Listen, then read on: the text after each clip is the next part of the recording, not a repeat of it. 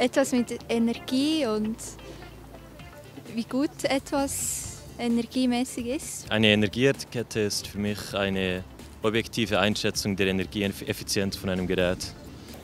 Die Energieetikette zeigt den Energieverbrauch an.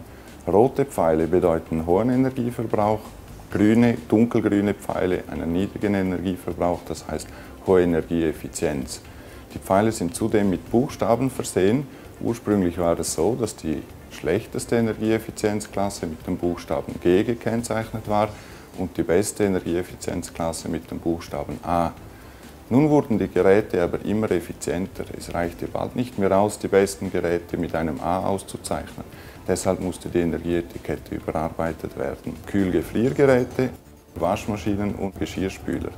Diese drei Gerätekategorien erhalten nun eine beste Klasse, die A ist und als dunkelgrün gekennzeichnet ist.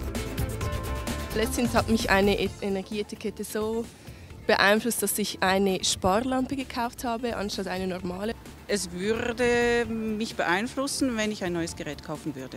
Ganz neu und aktuell ist die Energieetikette für TV-Geräte. Das TV-Gerät ist das erste elektronische Gerät, das mit einer Energieetikette ausgezeichnet wird. Die heutige TV-Etikette geht bis zur Klasse A und ist dunkelgrün.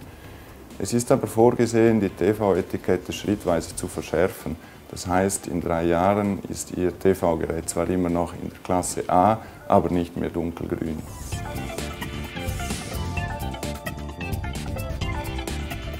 Der Sinn einer Energieetikette ist, dass die Verbraucher wissen, wie hoch der Energieverbrauch eines Gerätes ist. Der Sinn ist äh, eine zukünftig nachhaltigere Benutzung oder Nutzung von Energie.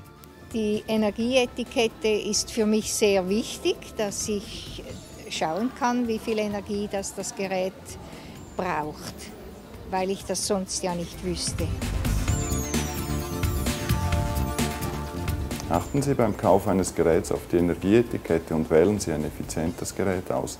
Dies hilft der Umwelt und auch Ihnen, indem Sie Stromkosten sparen. Weitere Informationen zur Energieetikette finden Sie auf www.energyday.ch.